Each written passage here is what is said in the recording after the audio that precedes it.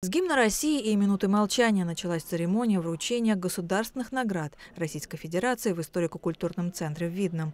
Три наших земляка, погибших в ходе специальной военной операции, были удостоены звания Героев России и получили ордена мужества. Объединение этих людей одно – это честь, это мужское достоинство, это доблесть и любовь к родине, готовность защищать ее и граждан, не жалея ничего, пусть даже ценой собственной жизни. Каждой семьей по отдельности встречались.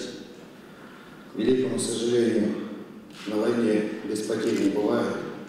Ваши родные и близкие, ваши мужья, отцы и сыновья погибли, отдали свое самое ценное, свою жизнь не зря. Кадровые военные Андрей Акулов, Александр Осокин и Виталий Кокорин пошли исполнять свой воинский долг в зону СВО добровольцами.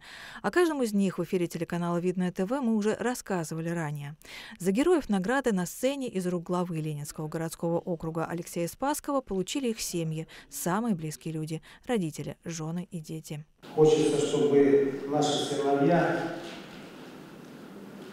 не ушли в безмолвие, остались как жители, как достойные жители нашего района, остались в его истории.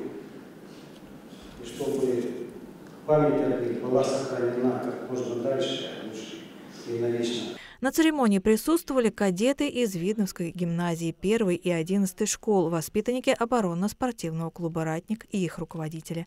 Они признались, что гордятся своими земляками. Солдат погибает дважды когда его убивают на поле боя, когда его забыли. А наша организация и молодежь нашего городского округа не дадут забыть их героев. И слезы подкатывают, несмотря на то, что я мужчина, во время вручения. И боль, и гордость. А, гордость и за наших ребят, за наших земляков, которые отдали свою жизнь и за Россию, и за людей, за русских людей на Украине гордость за нашу молодежь, которая пришла на это мероприятие. Екатерина Борисова, Александр Логинов, Ольга Садовская. Видное ТВ.